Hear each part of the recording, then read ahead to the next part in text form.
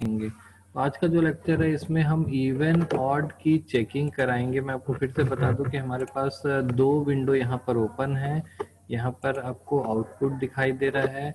आपका जो पीएचपी का कंट्रोल पैनल है, ये यहाँ पर दिख रहा है। मैंने दोनों अपाचे सर्वर और माई का जो डेटाबेस सर्वर है, दोनों को एक्टिव कर रखा है। दोनों की प्रोसेस आईडी और पोर्ट नंबर यहाँ डिस्प्ले हो रहे हैं।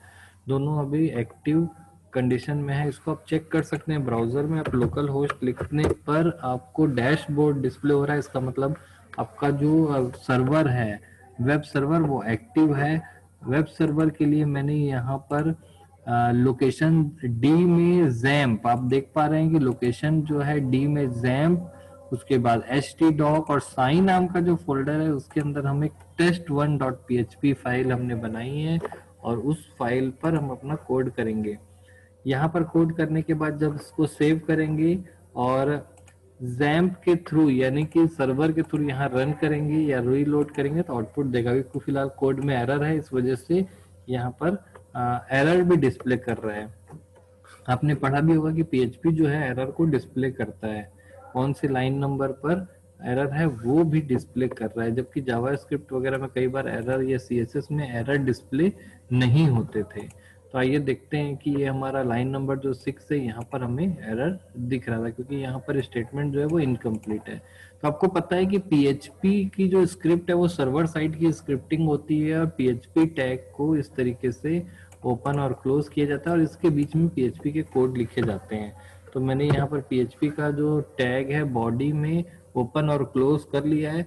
अब हमें आज जो एक प्रोग्राम बनाकर देखना है इफ़ एल्स का जो एग्जांपल है, हम इवन ऑड की चेकिंग करा सकते हैं। अभी हम कंपाइल टाइम पर इनिशियलाइजेशन करा करके देखेंगे। दोबारा जब हम फॉर्म टैग वगैरह बनाएँगे तो वहाँ पर फॉर्म से या ब्राउज़र से इनपुट लेकर के उसकी चेकिंग कराएँगे। क्लियर है? तो सबसे पहले हम एक वेरिएबल बनाते हैं। वेरिएबल बनाने के लिए आपको पता है कि मैं डॉलर सिंबल का यूज़ करूँगा और इसमें मैं एक वैल्यू दे देता हूँ नाइन मैंने एक वेरिएबल बनाई है और उसमें वैल्यू मैंने दे दिया है नाइन। अब मैं यहाँ पर चेक करा सकता हूँ, आपको पता है कि डॉलर का साइन लिखने से वैल्यू आती है। तो dollar N mod two equal to equal to zero. इस कंडीशन को आपको याद रखना है या समझना एक प्रकार से। तो सबसे पहले हम ये समझ लेते हैं कि कौन सी वैल्यू जो है वो इवन है कि ऑड है। कंप्यूटर की बात छोड़ दें अगर हम अपने रियल लाइफ की बात करें तो किसी नम, कोई नंबर अगर इवन है कि ऑड है उसकी चेकिंग हम कैसे करा सकते हैं?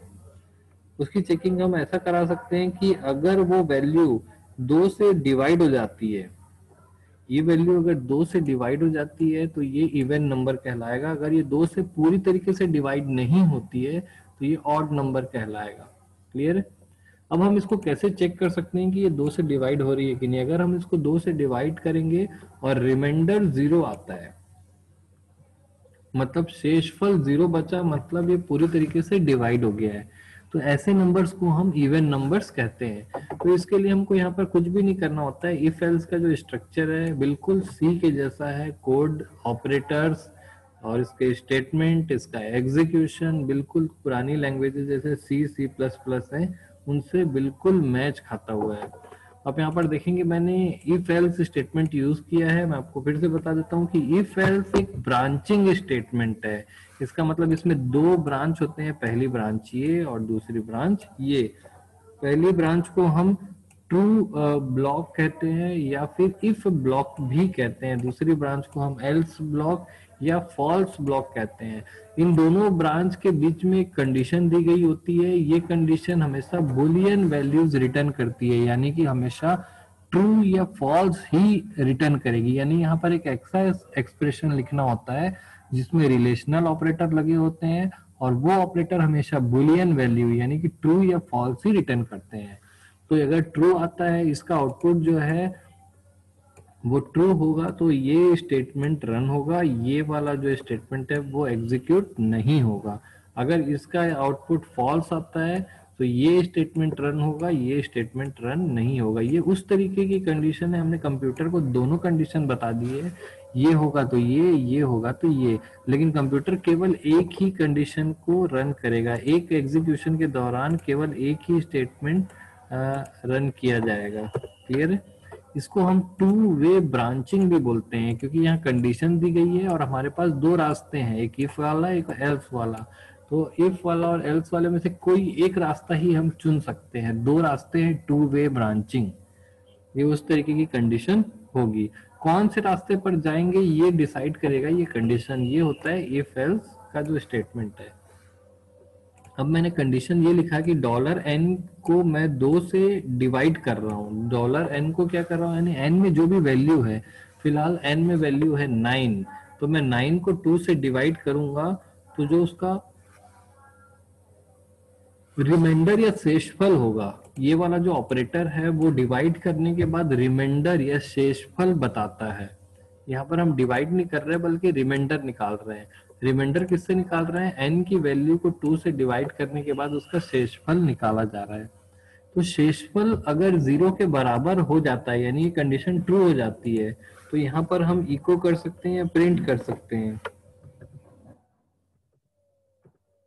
इको में हमने कर दिया इवन और अगर ये कंडीशन फॉल्स हो जाती है तो इको कर सकते हैं हम। आप देख रहे हैं कि यहाँ पर कई चीज़ें आपको देखने के लिए भी मिल रही है कि यहाँ पर जो आपको सिंटेक्स है काफ़ी आसानी से समझ में आ जा रहा है। यानी कि आप पीएचपी का इफ़ एल्स या ब्रांचिंग ये सब आसानी से आप समझ सकते हैं। आपने देखा जावा स्क्रिप्ट की आपने इफ़ एल्स ब्रांचिंग लूपिंग सब आसानी से समझ गए।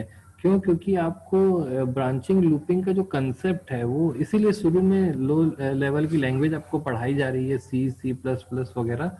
उस सारे लगभग आने वाले लैंग्वेजेस जो हैं उसमें सिंटेक्स लगभग मिलता जुलता है। तो एक लैंग्वेज का कंसेप्ट अगर आपको समझ में आ जाता है तो दूसरी लैंग्वेज को सीखना कितना आसान होता है। तो हमने यहाँ पर फ़िलहाल कंपाइल टाइम इनिशियलाइजेशन करके, यहाँ पर हमने कंपाइल टाइम इनिशियलाइजेशन किया है। फॉर्म टैग वगैरह बनाएँगे, तब रन टाइम इनिशलाइज करके यूज़र डिफाइंड इनपुट पर हम चेक करा सकते हैं। फ़िलहाल यहाँ पर जो लॉजिक लगाया, वो बिल्कुल सिंपल सा है। एन जो है, एक ऑड नंबर है। तो इसकी जब टू से मॉड मॉड निकालेंगे तो ये कंडीशन फॉल्स हो जाएगी। तो ये जो है हमारा एग्जीक्यूशन होगा और आउटपुट आएगा। मैं इसको यहाँ पे सेव कर रहा हूँ और दोबारा जब इसको हम यहाँ पर लोड करेंगे तो देखिए आउटपुट में क्या आ रहा है? ऑड तो इस तरीके से हम अपना आउटपुट भी यहाँ पर देख सकते हैं। अब अगर यहाँ पर मैं नाइन के बजाय टेन लिख देता हूँ और इसको सेव कर देता हूँ। अब मैं इसको लोड करूँगा तो हमारा जो आउटपुट है वो आ रहा है इवन तो इस तरीके से हमने इफ़ एल्स को देखा पीएचपी के कोड में। अब जो ये आउटपुट आ रहा है, इसको आप राइट क्लिक करिए और व्यू सोर्स करिए। तो आपको यहाँ पर देखिए कोड दिखाई नहीं दे रहा, सिर्फ़ आउटपुट दिखाई दे रहा होगा। ये वाला जो कोड है, ये पूरी तरीके से गायब हो गया है। आप यहाँ पर चेक नहीं कर पा रहे हैं कि यहाँ पे क्या कोड लिखा है। क्लियर है? तो ये था आपका इफ़ एल्स की जो कंडीशन है इफ़ एल्स का जो स्टेटमेंट है तो इस प्रकार से आपने देखा कि सारी programming languages PHP Java C C plus plus JavaScript VBScript visual basic SP dot net और भी बहुत सारी जो लैंग्वेजेस हैं, सारी की सारी लैंग्वेजेस जो है नेस्टेड स्ट्रक्चर को सपोर्ट करेंगी। नेस्टेड स्ट्रक्चर को सपोर्ट करने का सीधा सीधा मतलब ये होता है कि अगर मैं कोई ब्लॉक ऑफ़ कोड लिखता हूँ तो सेम स्ट्रक्चर का ब्लॉक ऑफ़ कोड उसके अंदर भी लिख सकते हैं। फिर इसके अंदर एक और सेम स्ट्रक्चर का ब्लॉक ऑफ़ कोड लिख सकते हैं।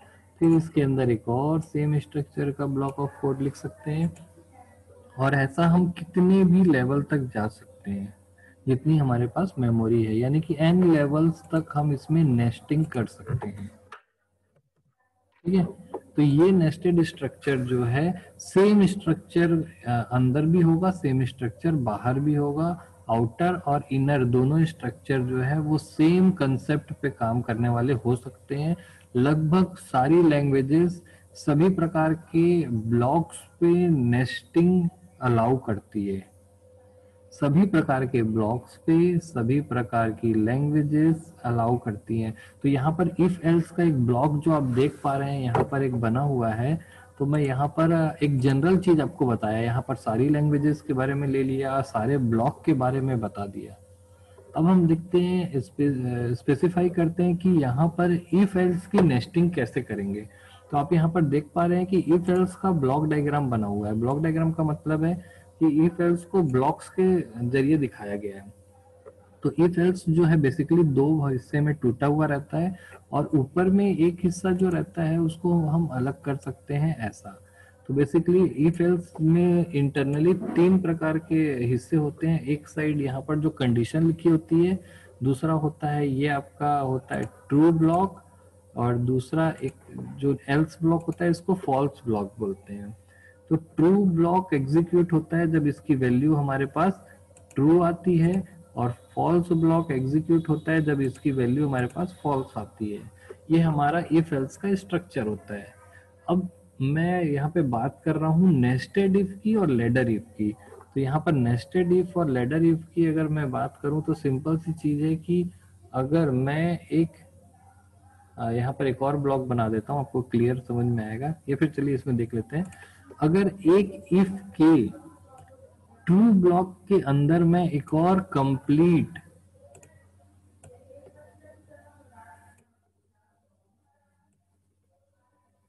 इफ़ ब्लॉक बना देता हूँ। ध्यान से देखिए, मैंने ट्रू ब्लॉक के अंदर एक कंप्लीट इफ़ ब्लॉक बना दिया है।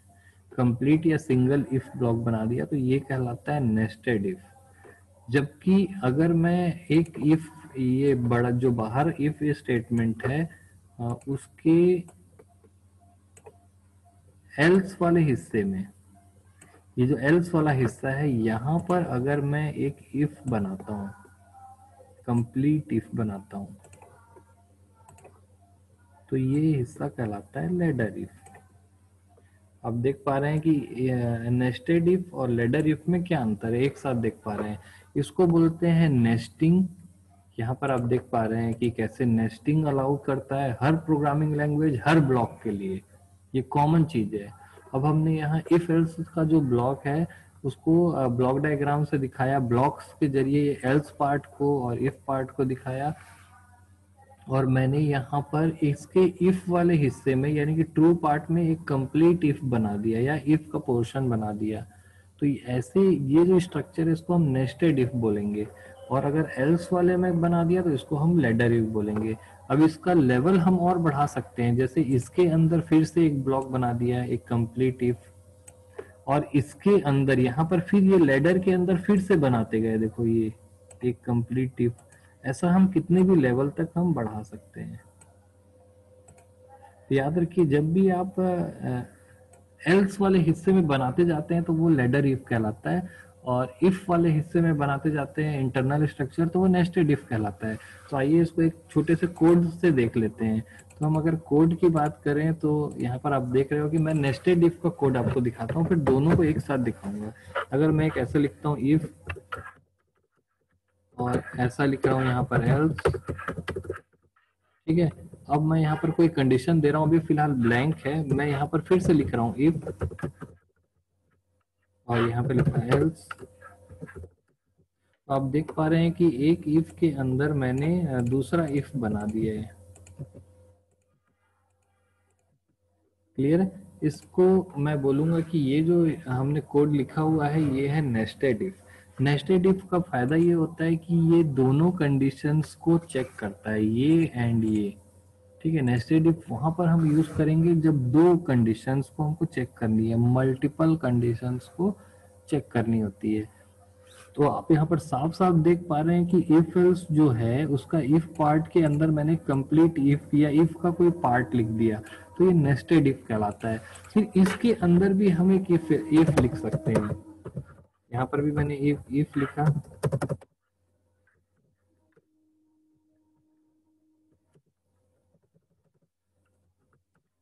फिर यहाँ पर मैंने एल्स लिख दिया।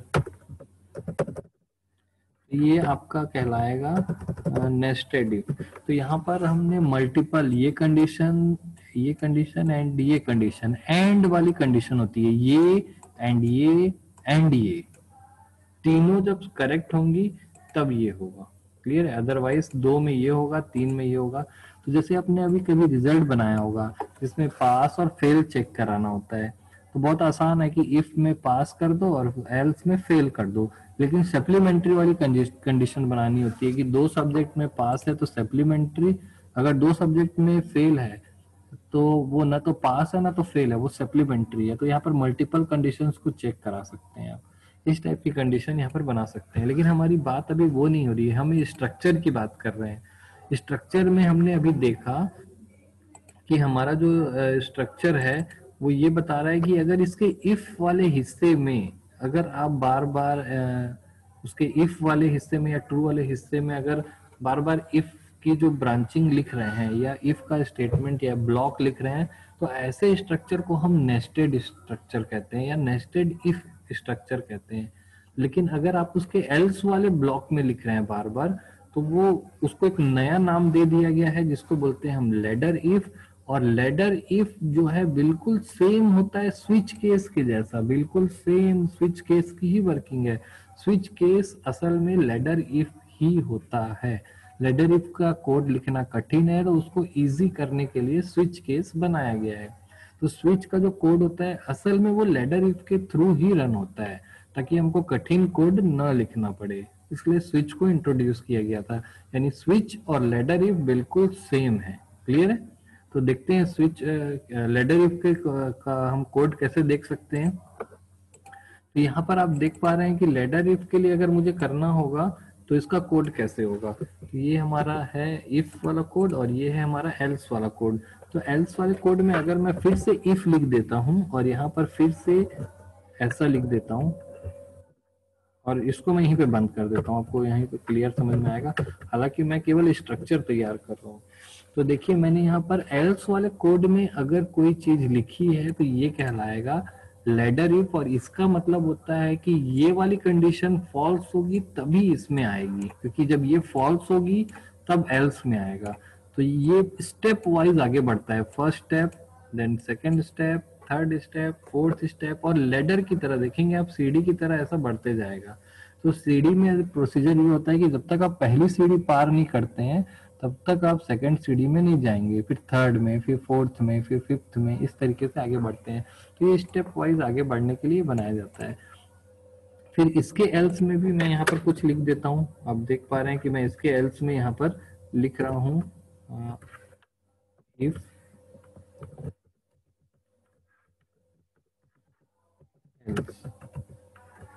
ऐसा मल्टीपल देखिए लेडर सीढ़ी जैसा दिख रहा है आपको, ऐसा सीढ़ी जैसा है। पहले ये स्टेप फॉल्स करेक्ट होगा तो ये रन हो जाएगा। फॉल्स होने पर सेकेंड स्टेप आएगा। फिर ये जब फॉल्स होगा तो फिर थर्ड स्टेप आएगा। तो स्टेप वाइज आगे बढ़ने के लिए लेडर इफ़ का यूज़ करते हैं या फिर स्विच केस का होता है। Case one case two case three ऐसा आगे बढ़ते हैं। तो ये स्ट्रक्चर जो आप देख पा रहे हैं ये स्ट्रक्चर को ही मैं समझाना चाह रहा था कि ये लेडर इफ़ किस तरीके से है। या हम इसको ऐसा भी समझा सकते हैं कि आ, कई बार इस चीज़ को देखिए, आप इसको गौर करिए, ये वाली जो लाइन है, इसको बार बार ना लिख करके इसको कई बार ऐसे लिख दिया जाता है। या एल्स इफ़ या एल्स इफ़ ऐसा लिख दिया जाता है और इसको गायब कर दिया जाता है। तो ऐसा स्ट्रक्चर आपको देखने के लिए मिलेगा एलिफ एल सिफ या एल सिफ एक साथ और यहाँ से इफ़ गायब हो जाता है, केवल एलिफ और फिर यहाँ से भी इसको गायब करते हैं और एल्स इफ़ ऐसा लिख देते हैं और इसको गायब कर देते हैं। क्लियर है? तो इस तरीके की कंडीशन भी देखने के लिए मिलेगी। असल में इनका जो रूप है, वो ऐसा ही है। इसी का एडवांस रूप है कि ये एलिफ एलिफ करके, यानी कुल मिला के ये वाला जो स्ट्रक्चर है, ये फॉलो आपको होता हुआ दिखाई देगा, जिसमें मैंने आपको ये स्ट्रक्चर बताया था। तो याद रखने के लिए ये बहुत ही सिंपल सी चीज़ है, लेकिन इसको आप एग्ज़ाम में ऐसा नहीं लिख सकते हैं कि आप इस पार्ट में ऐसा लिखने पर इसको लेडर इफ़ कहा जाता है। ये केवल समझने के लिए और हमेशा हमेशा के याद रखने के लिए फॉर्मूला बनाया हुआ है। एक प्रकार की शॉर्टकट ट्रिक है। तो इस डायग्राम का अगर आप स्क्रीन ले लेंगे तो ये एग्ज़ाम के समय जो कंफ्यूजन होता है कि किसके अंदर क्या लिखने पर इफ़ एल्स के अंदर लिखने पर या फिर एल्स के अंदर लिखने पर नेस्टेड होगा कि लेडर होगा उस कंसेप्ट को हमेशा के लिए क्लियर कर देगा। और ये जो कंसेप्ट है सिर्फ़ पीएचपी के लिए ही नहीं है बल्कि आ, हर प्रोग्रामिंग लैंग्वेज जैसे सी में भी आपको नेस्टेड इफ़ और लेडर इफ़ में अगर डाउट हो रहा है सेम यही कंसेप्ट लिखा हुआ है उसमें भी। उसमें आ, कई जगह हम मर्ज कर देते हैं एल्स इफ़ लिख देते हैं। और अगर आप मर्ज नहीं करना चाहते तो भी कोई प्रॉब्लम नहीं है। आप बिल्कुल वो स्ट्रक्चर को फॉलो कर सकते हैं। तो आप ऐसे कितने भी इफ़ एल्स को इस तरीके से स्ट्रक्चर बना करके लिख सकते हैं। तो ये था हमारा जो हमने नेस्टेड इफ़ और लेडर इफ़ की बात कही। बस एक चीज़ की कंसेप्ट आपको याद रखना है, ये जो डायग्राम है, इस कंसेप्ट को याद रखिए। और सिर्फ़ एक पॉइंट याद रखिए कि कब नेस्टेड यूज़ करना है और कब लेडर यूज़ करना है। नेस्टेड का एक फॉर्मूला है कि जब आप मल्टीपल कंडीशंस को एक साथ सेलेक्ट करके चेक कराना चाहते हैं तब नेस्टेड लिखेंगे। जैसे मैं चाहता हूँ कि कोई पर्सन इंडिया में रहता है और वो साई कॉलेज का स्टूडेंट है, उसी की लिस्ट मुझे दिखाई जाए। ऐसी कंडीशन चेक करानी है तो दोनों कंडीशन ट्रू होनी चाहिए। इंडिया का होना भी ट्रू होना है और साई कॉलेज का स्टूडेंट होना भी ट्रू होना है। तो दोनों ट्रू होना है, एक साथ मिली जुली सरकार चाहिए मुझे, दोनों का मिली जुली सरकार चाहिए तो मैं नेस्टेड इफ़ का यूज़ करूँगा। और मुझे केवल स्टेप बाय स्टेप में आगे बढ़ना है कि पहले उसने प्री एग्ज़ाम फाइट किया, उसको पास किया, फिर इंटरव्यू पास किया, उसको पास किया, फिर रिटर्न टेस्ट पास किया, उसको पास किया, फिर फ़िज़िकल टेस्ट पास किया, फिर उसको पास किया। इस टाइप की कंडीशन मुझे चेक करानी है तो लेडर इफ़ का यूज़ करना पड़ेगा। लेडर इफ़ जो है वो स्टेप बाय स्टेप में आगे बढ़ेगा। सेकेंड स्टेप में या थर्ड स्टेप में तभी जाएगा जब वो सेकेंड स्टेप पास कर चुका है। इस टाइप की कंडीशन चेक करानी होती है तो किसी भी प्रकार की कंडीशन में ऐसा लेडर इफ़ का यूज़ किया जाता है इसका आप लोग स्क्रीन ले सकते हैं और किसी कोई डाउट है तो आप लोग पूछ सकते हैं।